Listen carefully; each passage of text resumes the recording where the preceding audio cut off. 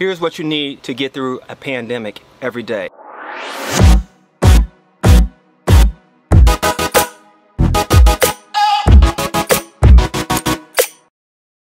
Pause and take the time to learn from the experiences that you had that day.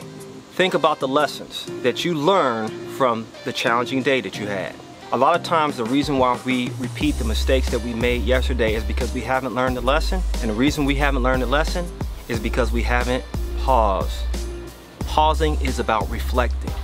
It's about gathering that data that will help you to deal with tomorrow better. Even sometimes you need to pause during that day so that you don't make the same mistake during that day. The second thing you need to do is adjust. Now, Adjusting is all about doing two things. It's about learning from what you experienced yesterday and applying it, of course. It's also about predicting what the future could look like based on what you have experienced. The hardest thing for us to do is to change because change displaces our comfort of the present moment.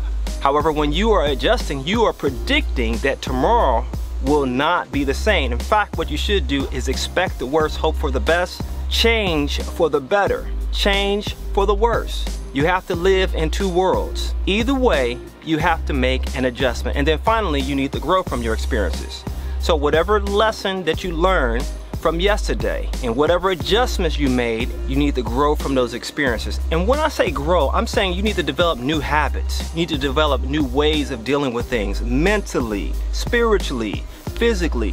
Make the adjustments. That way, when things happen that you didn't predict, when things happen that are out of your control, like all the things that are happening right now, because you are adjusting, because you are pausing and you're learning from those experiences, the pandemic will not have such a negative effect on you.